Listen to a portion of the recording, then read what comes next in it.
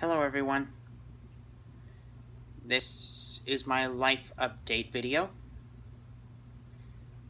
I just wanted to say uh, that I'm trying to complete my goal,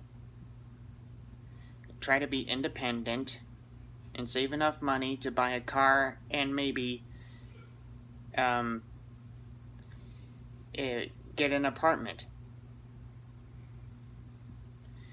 But today, uh, uh, I had the engine in my in my dad's car overheated. So my mom called AAA. So it's gonna be taken care of in a couple days. So I just thought I'd let you guys know what I was doing and I'll see you in my next video. Thank you. Bye.